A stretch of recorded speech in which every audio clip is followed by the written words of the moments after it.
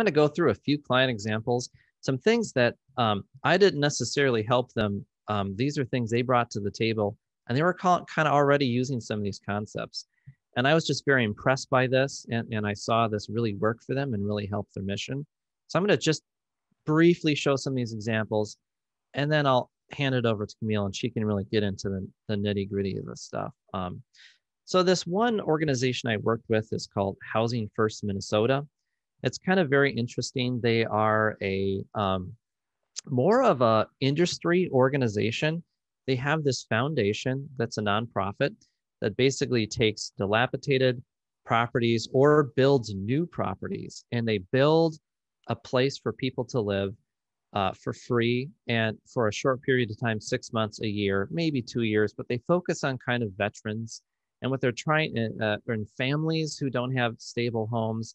And so what they're trying to do is provide this great stable environment and a really nice home so people can get on back on their feet, right? And then they can, you know, um, get jobs and get a better place and kind of, um, you know, get back on their feet. So I worked with them on a virtual event and, and they pretty much uh, I produced this event, but they the content was all them, and they it was very clear they had this culture of sort of ambassadorship baked into the organization, and it was really interesting. This was a very top down. So what you're seeing here is you're seeing past foundation presidents speak at their virtual event, and so at this virtual event, they literally had every single past president there as an ambassador, really pushing the mission. So what what this showed people was that even people not connected and in the organization anymore were still incredibly passionate about the mission and they also had a very specific piece of outreach they did they each said um, you know i'm donating tonight right this was um, a virtual event primary purpose is, is raising funds for most nonprofits virtual events that's a big part of it and so this is very powerful it's very powerful to see these people all of them past presidents, all still connected to the mission and all saying, you know, this is important. We should support this. And I'm giving money as well. So I thought that was really cool. Um, mm-hmm. and it goes a long way as being kind of a more industry organization. Uh, these people are very active in the building industry and in their own companies. And so it's a really unique kind of almost B2B uh, mission ambassadorship, which I thought was very cool. And another thing that's totally different, this is a totally different angle, um, this is another uh, nonprofit client of mine, uh, Emma Norton Services. So Emma Norton Services presi- provides homes, uh, a stable living, and some services, a bunch of services uh, for women who are either you know women and sometimes their families if they're struggling from um, mental health issues or addiction issues. So another organization that kind of deals with housing, but a lot of more, a lot more services as well. So this person here, Tanana, is a program participant. So she's someone that this organization has helped tremendously. I mean, completely transformed her life.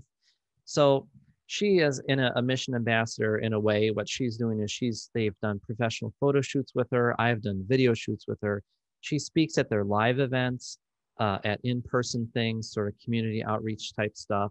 She's been in several virtual events, um, and some live events too, actually on stage. So uh, so the the big thing that this organization um, really help uh, really needs like help with is is trust right so these are very vulnerable women who usually have a lot of trauma they've had a lot of things happen to them in their lives and the the struggle with this organization is sometimes people don't trust emma norton that they really will do what they say or they think it's a scam or, or they, they just can't imagine that there's this organization that wants to help them as much as they do right so tanana actually kind of tack as an ambassador tackles that issue specifically. She does talk about when I first talked to Emma Norton, I thought, is this a scam? Why are they calling me? Why are they reaching out to help? This can't be true. There's no way they're going to provide a place to live and all this stuff. But it's totally true. And they do this amazing work. And so this is another kind of unique thing that I saw one of my clients doing that I thought was amazing.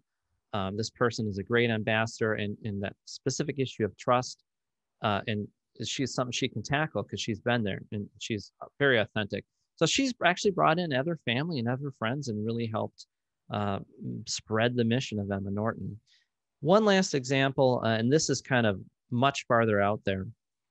Um, this is um, I did a some other work for two organizations who happen to be very lucky to be connected to kind of a list people, right? Um, ambassadors for their mission that are really well known. Um, you don't get that much more well known than Shaquille O'Neal and uh, Jane Fonda. So um, Jane Fonda is is a big advocate, and she does a lot of stuff for like Greenpeace, and you can see her on Facebook. She does something called uh, Fire Drill Fridays, which is becoming kind of a big popular thing now. Um, but she also helped out this very small uh, nonprofit client of mine, COSH, which um, deals with work, workplace safety. So during COVID, frontline workers under tremendous stress, a lot of them dying, and they needed a lot of support and services. And so this was something Jane Fonda was passionate about. So we worked with her to help integrate her into that virtual event. Uh, it was a pretty big draw, I think, for that. And she's passionate about this issue. And then Kids in Need Foundation, which is not a huge nonprofit, but does a lot of amazing work, um, has been connected actually to Shaquille O'Neal for a long time. Um, and he has a similar kind of nonprofit, right? Um, that deals with education. So this is a virtual event I produced, and he was on the panel speaking about uh, the achievement gap. Um, and not only is he well known, but not many people know this. Um, Shaquille O'Neal actually has a PhD uh, in education. Uh, and he also has his own foundation. So he is uh, not only, of course, famous, he can kind of be a draw as an ambassador, but he really knows what he's talking about. So these are just some examples I wanted to go through of, of clients who are kind of already bringing some of these concepts uh, to the table. And